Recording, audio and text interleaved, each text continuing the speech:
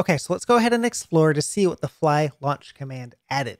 The first thing of note is that we have a new Docker file. The Docker file is generated by the fly launch command. It's going to use an Alpine base image, which is nice and small. It's going to install PHP 8 by default, although you can change that to 8.1 or whatever you want if you need. And then it'll do all the things it needs to to run your application. It'll install composer dependencies. It'll install things for Octane if it sees that Laravel Octane is installed, and it's aware if you're going to use Roadrunner instead of Swoole for Octane.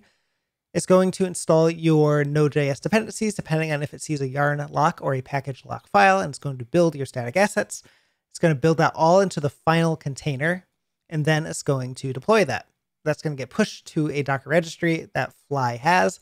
And then from that registry, Fly is going to pull the image, do the magic it does to turn that Docker image into a virtual machine, and it's going to run it. We have a Docker ignore file. The files in here do not end up in your Docker image, so you can add to this if you'd like. And then we have a Docker directory, and inside of the Docker directory is all the stuff it uses to configure your application. So you can actually tweak this as needed. And the next time you deploy, those changes will be pulled in. So if you don't like how we configured something, you can change it however you'd like. Now, one thing you might want to change, especially, is the supervisor.conf file, because there's a bunch of things in here, a bunch of use cases in here you might want to run inside your Fly virtual machine.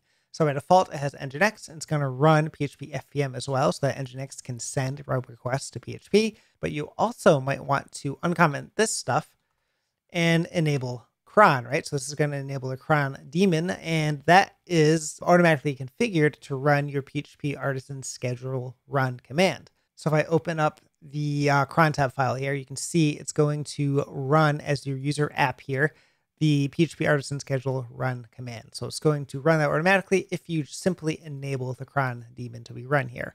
You could also enable a queue worker by deleting this stuff and it will run the PHP artisan queue work command. It's going to default to the SQS driver, but of course you can change that to whatever makes sense for you, the database driver or Redis driver if you're running Redis, whatever you want.